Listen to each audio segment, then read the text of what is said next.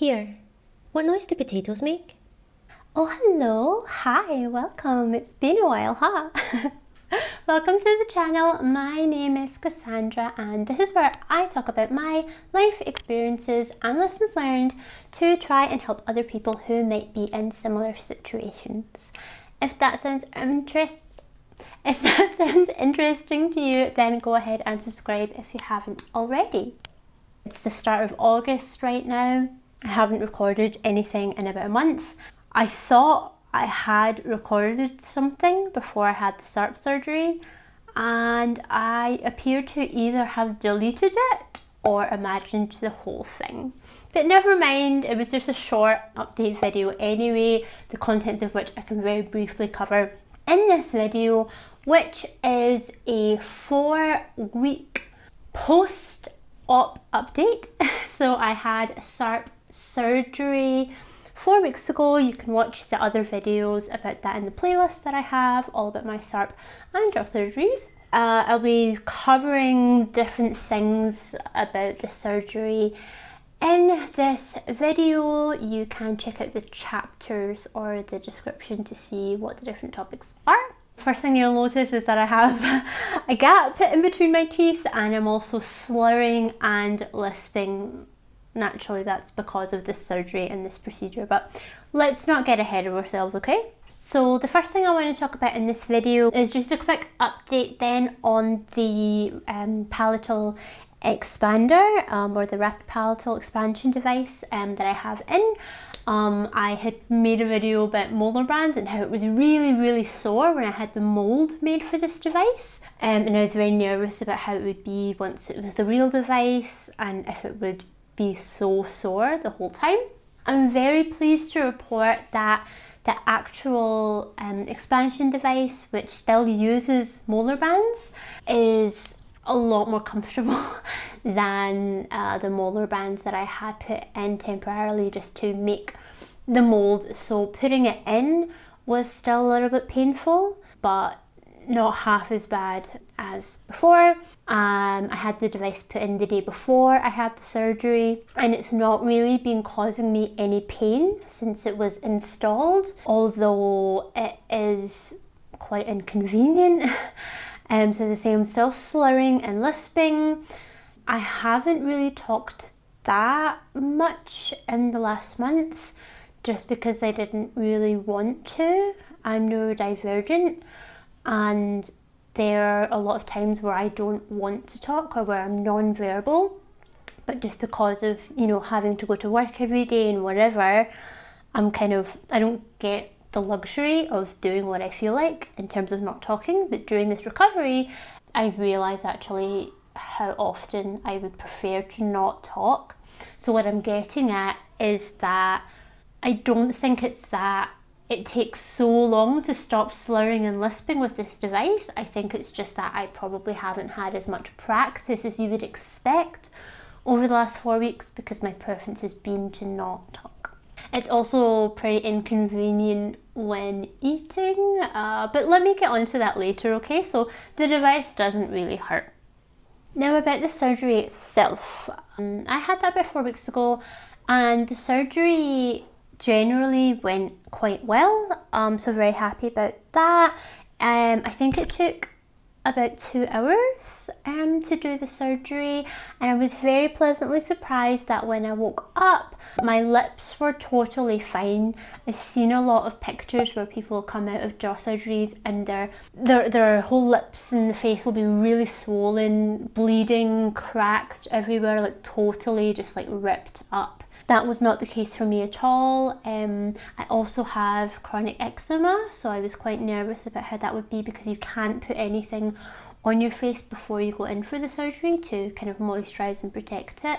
So I was really nervous about that, but I did tell the doctors about it, so maybe they were extra careful. Um, so that was really nice. Also, I didn't have any discomfort around the nose or nostrils, um, which is, was a pleasant surprise because obviously with it being jaw surgery, they can't put a mask over your face to give you like anesthesia or oxygen. They have to um, do intubation through the nose um, to give you those things instead. So I was expecting that to be um, quite painful afterwards, but the nose is totally fine. What wasn't totally fine though, what was really, really sore for a good while, uh, was my throat. I'm not sure why or how that worked out, but again, it would have been because of the intubation.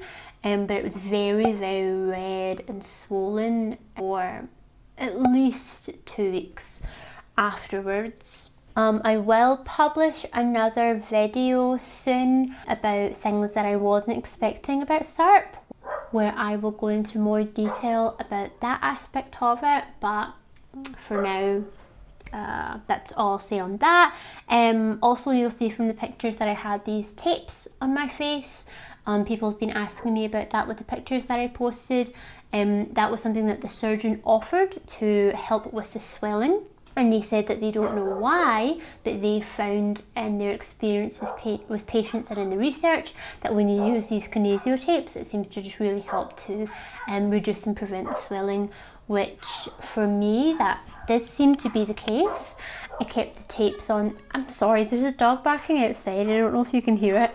Um, but I kept the tapes on for about five days and the swelling was very, very minimal the whole time. There still was swelling, um, but it wasn't so much to actually make me feel uncomfortable. Uh, the skin wasn't like super, didn't feel super stretchy or anything like that. So I think that was effective. It worked out well for me. People have been asking me like, can I get those tapes? What are they called? Whatever.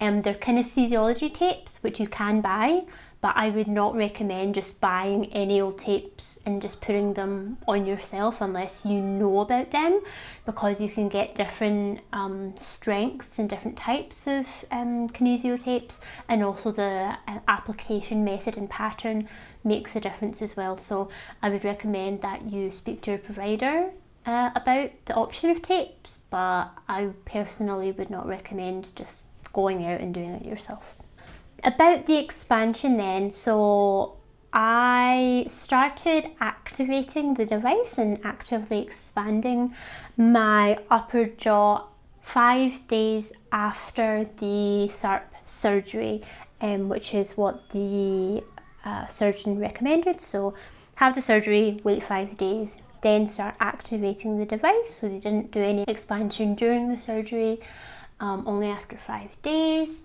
and I turned the I turned the key or I activated the device twice a day for 11 days. And each turn is a quarter of a millimeter. So turning it twice per day means one millimeter per day. I've turned it for 11 days. So that means in total I expanded this device by 11 millimeters uh, the reason for that, when the orthodontist did the measurements and stuff like that, he estimated that I would probably need to expand the upper jaw by six millimeters. Then he said that there's about 30% relapse that you need to account for. Plus, I also have, I like my upper teeth are, are very flared out and my lower teeth are very flared in. So you had to do some calculations for once I have the braces and they're straightened and they're not tilting anymore to check that it would still be appropriate then. And I also was um, given a lower jaw expander as well, just to expand that very slightly um, and make that uh, more suitable for me, my body. Just very, very briefly, because again, people have asked me about this. My orthodontist who is, is German, I live in Germany, calls this thing for the lower jaw a bite plate, but it's not actually a bite plate. Like when I look up what a bite plate is, that's that's not what it is. It's not about pushing like my top teeth. It's not designed to be bitten against. What it actually is, it's basically like a Hawley retainer, except it, it's it, it's like a combination of a Hawley retainer and a palatal expansion device in terms of that it's got the acrylic and the metal wire, but it also um, has a, a screw functionality to expand. Yes, there's no mid structure to actually expand the lower jaw, but what jaw expanders do is, is they actually they, they shift the teeth. So it's not about tilting the teeth, it's about moving them. Okay, so that's why it was originally calculated six millimeters, but I've actually expanded for 11. That has gone very well, didn't have any problems with that. at all and now I'm in the sort of um, I guess you could call it a retention phase where you need to keep the device in to allow the bone to form sufficiently before you move on to the next step which would be braces. So we're estimating that I'll need to keep this in for six to nine months. We need to see how it goes um, and I will go back to my orthodontist to check in on that in October. I have been taking progress pictures along the way, so I will do a little time lapse of the actual expansion rather than going into showing you all the stuff right now.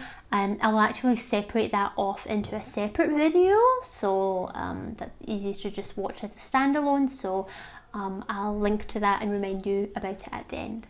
So now coming back to eating and sort of dealing with having this device in. You know, I said to myself when I was planning to record this video that I would need to check on the name of another YouTuber whose videos I watched so that I could reference him here. And of course, I completely forgot until right now. Uh, I'm very, very sorry, but I will include a link to someone else's channel in the description. He also has some videos about SARP they're quite they're quite entertaining. He's got a very nice style, um, so check out the description to go and watch his videos um, and let him know that I sent you. But basically, he said in one of his videos that like he could eat steak after like a week of having his SARP surgery, and I was like, oh, that's quite nice. This is you know good. Um, sorry, pal, but that's not true. I mean, it might have been true for you, of course, but for me, um, no, it's not been that way. So, technically, medically, like the advice from the surgeon was that I could eat normally straight away. I didn't need to do any sort of dietary adjustment. In reality, that ain't the fucking tea because one, the the device takes some getting used to. It's it's very hard to chew and move your tongue around and move the food around stuff gets stuck and things like that. So that's an ongoing impracticality. But more than that is that I mean, obviously, with SARP surgery, they're covering your jaw, right? So, even though the surgeon said that it was safe to eat normally, I did not feel comfortable to be able to eat normally for at least two weeks I think it was only going into the third week where I felt brave enough to experiment with different soft and solid foods and I've sort of been like working my way up and seeing like what I can manage. And just again while the bone reforms now that I have stopped activating the device so the body really has a chance um, to to recover there. I don't see myself trying steak anytime soon. I did have let's say a minor, not complication, but hiccup with the device in terms of that at some point when I was brave enough to try soft foods, I tried very, very soft noodles and I just like very lightly bit down on the one contact point that I had. And um, that's another reason why eating is hard because you lose your contact points. You literally don't have chewing surfaces that actually line up with each other, so you can't chew food. Um, I now have managed to find two very, very small contact points, one on either side.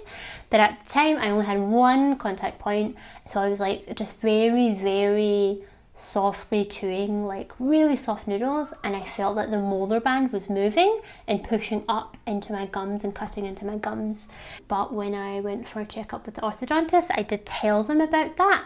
They said that it looked fine, but I told them like I can feel it. So they added some more um, of the dental cement to like bond it some more and make it more stable and that has helped. So that's good that that is kind of like solved for me now. One thing I forgot to mention earlier, oh my goodness, I didn't talk about the pain. So the, the SARP expansion actually activating the device, that doesn't hurt at all. I was a little bit skeptical when I'd seen people say that it doesn't hurt. I thought that it would at least feel weird. Um, it doesn't hurt at all. It doesn't feel weird. The only thing that maybe makes you feel a bit nervous is you can feel the stiffness of the device as you turn it um, but that's in your hand, not in your jaw. So for me, it was actually absolutely fine. Some people talk about hearing at some point, like a little pop or a crack. I didn't hear that at all. Uh, that was fine for me. And even after the surgery itself, I was not in any pain at all, which is nice. Obviously, I was on painkillers. When I was in the hospital, I only spent two nights there. They did give me painkillers, but I'm not sure exactly what kind of painkillers they were. It was in tablet form, and I tried to read it on the tablet. Um, but they only gave me one at a time, so I couldn't see what actually was. And then when I left the hospital, I was just taking ibuprofen three times a day I was allowed to take up to four, but I only felt like I needed it up to three times a day. There were a couple of periods where I started to feel really unwell, and taking the painkiller helped even though I wasn't in pain. So that was quite interesting. And I think after a week, I'd already stopped taking them. Two at max, but I didn't take them for very long, so that was really good and actually talking about numbness so I'm completely normal in the bottom half which makes sense but on the top jaw I was numb pretty much all over both in the jaw the gums and the top lip it's been the, the feeling has been slowly slowly coming back but there's definitely still a section at the front um, where I am numb uh, which does make brushing a little bit difficult because I use feeling to sense, you know, how well I'm kind of cupping the teeth as I brush, especially in the inside surface. So that's been interesting. I've, I've had to look more in the mirror um, to make sure I'm doing that correctly. Um, but that's normal. The surgeon said it can take up to one to two years to, to, for the feeling to come back, but she doesn't think it'll take that long in my case. And yeah, as I say, it has been coming back, so I'm not too concerned about that and then just backtracking a little bit and relating that to the eating. I expected the numbness in the lips to make eating really difficult just because of um, after I had my wisdom teeth removed. But actually, it's not been too bad because I can still feel uh, in the lower lip. So that's been fine. Another small thing as well, so as I say, the surgery itself went well, the expansion has been going well, but unfortunately, I have developed some sort of infection on the left hand side on the tooth with the molar band at the front. I'm not going to show any pictures because of where it is in the angle in the lip. It's really hard to get a picture of it, um, but it's infected along the gum line and the gum is receding up, um, which is quite worrying for me. Short story is that unfortunately the surgeon and the orthodontist aren't really sure where the infection is coming from based on the x-rays, they don't think it was a result of the surgery. They think that it might be because of the molar band because it's like shoved up so high, but they're not sure. And of course, we can't just take out the device. So there's nothing we can do to really look at it. And they said that worst case, I would lose a tooth. So that's not good. I already did a full course of antibiotics. It didn't make any difference. I'm now um, in week two of using chlorhexidine mouthwash twice a day. So let's see if that improves the situation. Certainly in the first week I didn't feel like it was at all. I'm now halfway through the second week. Maybe it's getting a little bit better, but it's hard to tell. You need to check it all the time. So I'm obviously not happy about that, but I don't think it was because of like someone doing something wrong. It's just one of the risks, you know, you're having invasive surgeries, you may end up with an infection. So um, I'm not worrying about it too much in terms of like the worst case scenario of losing a tooth.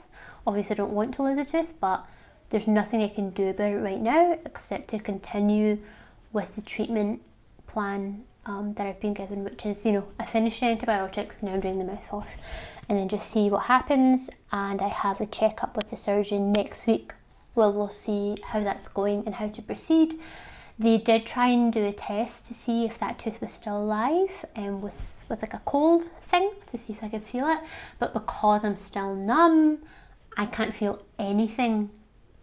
So that's unfortunate. Um, but when I go back next week, we're hoping that I can feel enough um, that we'll be able to check whether it's alive. And yeah, as I say, the good thing about it is that my my guess is that if I could feel, it would probably be quite sore, but I can't feel. I'm still numb, so it's not bothering me.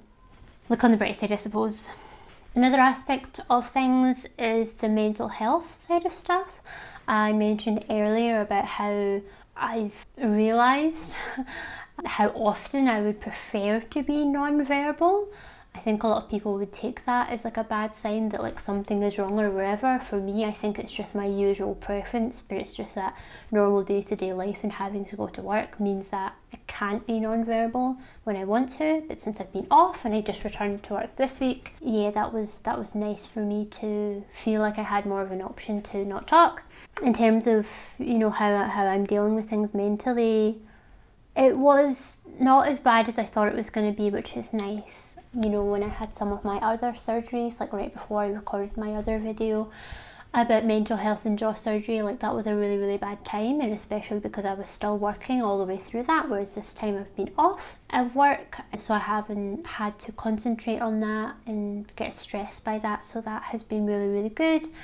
And yeah, returning to work this week, my main focus is to make sure that I don't get back in that position, uh, to do and approach things differently, to uh, avoid the stress and the burnout that I was experiencing before, so that I so that I can heal better, you know. So um, that's been not too bad at all, and uh, yeah, I think that's everything that I wanted to talk about in this video. Please let me know what you think in the comments below. If you found the video helpful, like, share, comment, subscribe for more.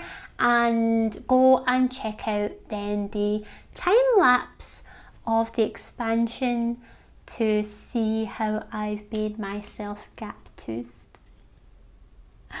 Alright, that's all for now. Thanks very much for watching and I'll see you later. Bye.